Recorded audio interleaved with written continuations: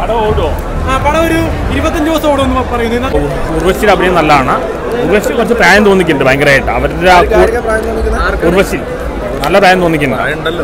പക്ഷെ അവരുടെ ഒപ്പം അഭിനയിച്ച രേവതി ശോഭന ഇവരുടെ എന്ത് എങ്ങായിട്ടിരിക്കണം അവരാണ് നന്നായിട്ട് അഭിനയിക്കണ്ട. നന്നായി അഭിനയിച്ചിട്ടുണ്ട് പക്ഷെ കുറച്ച് പ്രായം തോന്നിക്കുന്നുണ്ട്. പടം ആവറേജ് ആണ്. കണ്ടിരിക്കാം. സ്റ്റോറി സ്റ്റോറിയും കുഴപ്പമില്ല. ലാഗൊന്നും അങ്ങനെ ഇല്ല. പക്ഷെ ഉദ്ദേശിച്ച ഒരു സ്റ്റാൻഡേർഡ് വരുന്നില്ല കണ്ടിരിക്കാം. ഇപ്പൊ ടൂ തൗസൻഡ് എയ്റ്റിൽ ഭയങ്കര ഇറ്റാണ്ട് അതായത് കമ്പയർ ചെയ്യുമ്പോഴൊന്നും വരില്ല.